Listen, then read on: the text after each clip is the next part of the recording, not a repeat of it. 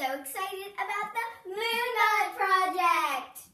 We have loved the moon since we were really little. Our grandfather used to tell us a story about how billions of years ago the Earth had two moons. As he told us the story, we imagined the moons were twins, one a little taller and one a little smaller, just like me and Hadley. As our Papa's story goes, one night a dolphin that had watched the moons playing together for weeks leapt out of the water and grabbed the smaller moon, pulling her into the water. But the sisters did not want to be separated, so now the moon in the sky reflects on her twin in the ocean. So tonight when we see the moon over the Atlantic Ocean in South Florida, we see one shining in the sky and one shimmering in the ocean. As you might expect, his tall tale is captivating.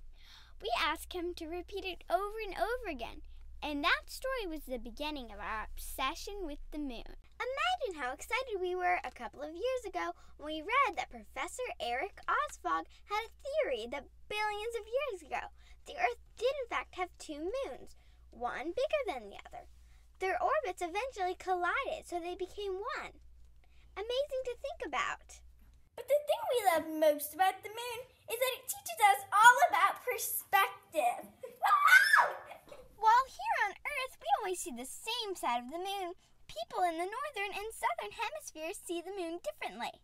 Let's say Hadley is in Australia, in the southern hemisphere, and I'm in North America, in the northern hemisphere.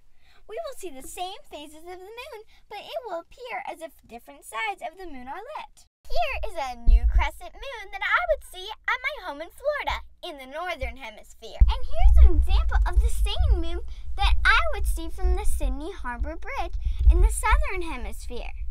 It's the same moon, just seen from a different perspective. Getting along well with all the other people and creatures in the universe is all about understanding their experience and perspective. And that's why that no matter how you look at it, the moon is